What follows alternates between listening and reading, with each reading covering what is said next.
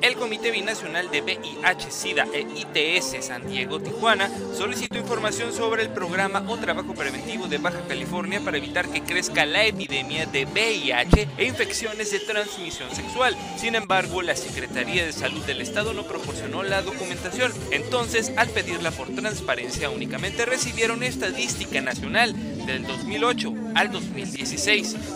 El copresidente de dicho comité, el maestro Miguel Curral, explicó que deja en incógnita el plan estratégico que se debe llevar en un estado como Baja California, donde hay una incidencia preocupante relacionada a la migración que vive y el turismo.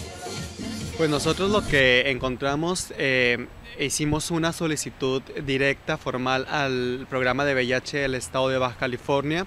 No recibimos contestación sobre cuál era la situación en el estado. Particularmente nos interesaba saber cuál era el plan de trabajo este, sobre VIH del programa estatal. Nosotros pensamos que frente a un problema de salud pública tan grave, habría que tener un plan de trabajo con metas, objetivos, acciones específicos y sobre todo puntualizando en, qué se está invirtiendo el recurso público destinado para las luchas eh, en el VIH a nivel local. Eh, por otro lado, también solicitamos este, la rendición de cuentas o, o el informe de actividades en todo caso del 2017 del programa de VIH del Estado y tampoco recibimos respuesta. Entonces nos dimos a la tarea como Comité Binacional de solicitar la información a, la, a, ICE Salud a través del portal de transparencia del Estado. Eh, nos respondieron, desafortunadamente no nos dieron la información que estábamos solicitando. Eh, nos proporcionaron un documento con información estadística de VIH a nivel nacional y a nivel eh, estatal de 2008 con información de 2008 y con información de 2015, 2016, lo cual nos parece muy inquietante, nos preocupa también porque el, Centro Nacional para la Prevención y el Control de SIDA, el CENSIDA, que es el organismo rector a nivel nacional en la respuesta eh, para la epidemia, eh, tiene datos actualizados cada trimestre. Entonces, uno puede buscar información ya eh, en internet, en la página del CENSIDA, para diciembre de 2017. Entonces nos parece raro que el gobierno del estado, cuando le pedimos información, nos haga llevar información que no está actualizada. ¿no? Por otro lado, también eh, solicitamos, bueno, el, plan de trabajo, eh, no, no, no nos lo proporcionaron, nos mandaron un documento con un par de páginas donde se establecía un objetivo, eh, un objetivo específico este, y uno general, pero no, delimitaba ah, concretamente cuáles eran las actividades a realizar, las metas, los indicadores con los cuales van a medir eh, los avances de la respuesta a la epidemia de VIH en un estado como, Baja California, que sabemos que es un estado donde el nivel de VIH es preocupante, ¿no?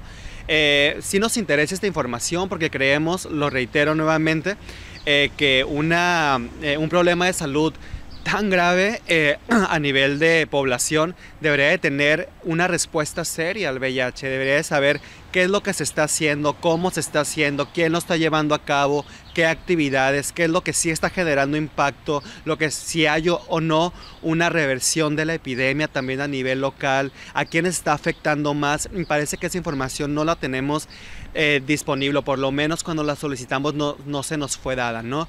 Eh, para eso, justamente para que esto no suceda, en primera instancia, comento, pedimos información a transparencia, pero también existen mecanismos formales para que eso suceda. Es decir, eh, hay una instancia a nivel estatal que se llama eh, Consejo Estatal de, de de Baja California, el COESIDA, que había estado pues muerto durante muchísimos, durante muchísimos años se buscó que se reactivara a través de el Comité Binacional, otras organizaciones de la sociedad civil, este, un programa particular que venía eh, de apoyo de la Ciudad de México y en colaboración con el programa de VIH del gobierno de, Baja California.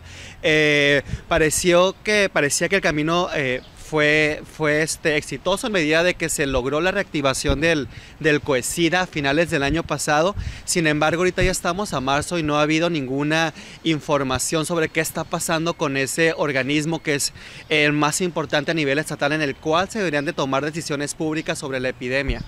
¿Cuál es el riesgo o a qué, se está, están exponiendo la población de Baja California al no estar dando esta información relevante?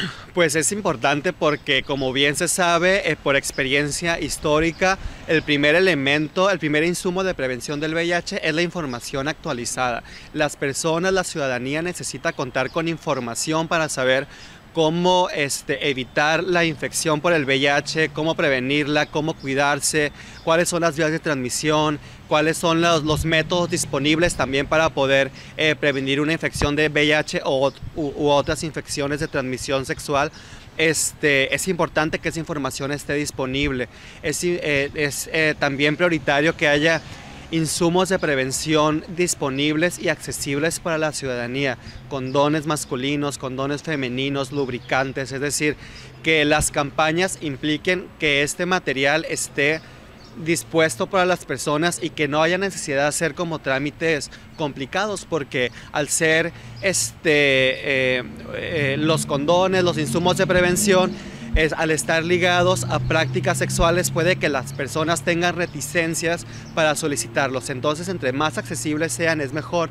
Nosotros, por ejemplo, como Comité Binacional, hemos llegado a un acuerdo con la jurisdicción sanitaria número 2 en que nos proporcionen los condones, los lubricantes, pruebas de VIH también para algunas de las organizaciones que conformamos el Comité Binacional y poder utilizarlas ¿no? Con, en, campañas, en ferias de salud, que la gente vaya, que las tenga accesibles, pero por alguna razón nos limitan el número de insumos que estamos solicitando. Te voy a poner un ejemplo eh, muy sencillo. Si pedimos, no sé, 20 mil condones, nos dan 10 mil condones, que es bueno, pero no es suficiente, sobre todo en un estado... Eh, con, dinámicas de VIH tan problemáticas como es. Entonces, eh, no sabemos por qué existe esa limitación de entregar recursos y por otro lado, bueno, recursos que, son comprados, eh, valga decirlo, con presupuesto público, pero también no nos explicamos por qué no lo vemos disponible en los centros de salud, este, donde se, se supone que las personas tendrían que tenerlos pues, al alcance de la mano, ¿no? En Tijuana reportó Esteban Merlo para RCN Uniradio.